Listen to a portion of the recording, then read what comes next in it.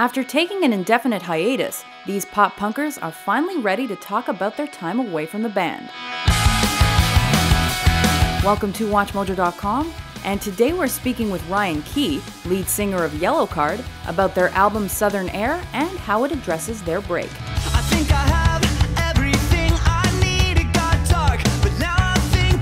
Let's talk about Southern Air.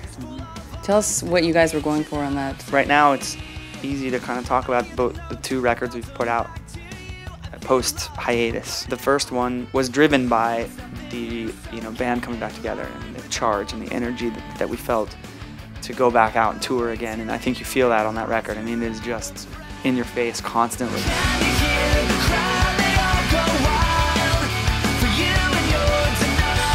Whereas Southern Air being, even though it's it's the second record in the process, I think is more about the time leading up to when you're through thinking yes, say yes, than that record itself was.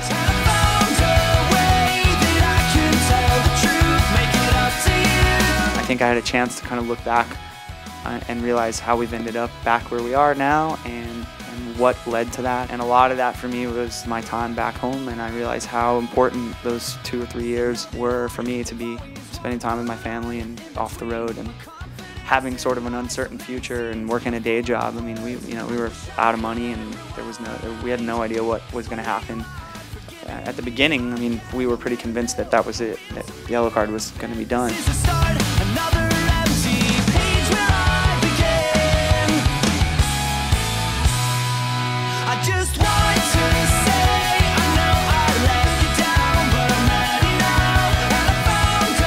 Think Southern Air is so much about shedding the negativity in your life and realizing, you know, how grateful you are for the things you have in your life. I think that's that's more what inspired Southern Air.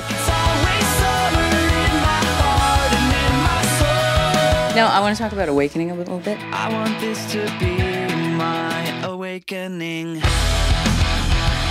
Tell me a bit about the concept for that uh, song and the video. The song was uh, a riff that Ryan Mendez and I wrote after Yellowcard had already kind of disbanded for a while. Definitely feel like it's the best album opener we, have ever written. I mean, it's just, I, I, love starting the record with that song. I love starting the show with that song.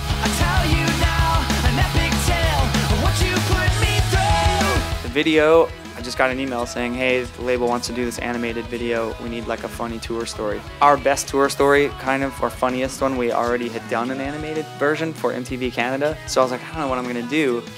You know, I don't, I don't know what PG-13 rated tour story I have to do for a video, but I remembered a story that uh, a, a friend of mine had told me about one of the members of the band getting left at a truck stop and having to hitchhike and all this stuff, crazy stuff to make it to the show the next day.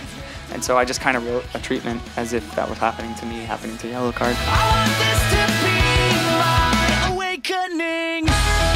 Any favorite uh, collaborations from album? We'd never done any kind of co-writing before, and on this record, I was sort of doing some weekend songwriting sessions with different people, not, not for Yellowcard, just, just getting out and, and working on songwriting. Had the chance to start working with Patrick Stump, who has always been a friend of mine, but uh, we obviously got a lot closer writing songs together. And our producer gave us the challenge, kind of, of writing a song in a certain tempo. And we were like, why? And he said, well, that's everything that's on the radio right now is at this time in this time signature. And we don't really care about radio. It's not really a part of what we do anymore and, and we're fine without it. But we thought okay let's try it. They say you don't grow up you just grow old. It's safe to say I haven't done both. It's super pop. It's a really pop song for Yellowcard. I had no idea where to go with it melodically or lyrically and uh, was working with Patrick on a couple other things, and I was like, "Hey man, you know, you're pretty good at writing pop songs. What do you think about listening to this demo and and see if you have any ideas?" So together we wrote all the melodies and lyrics. So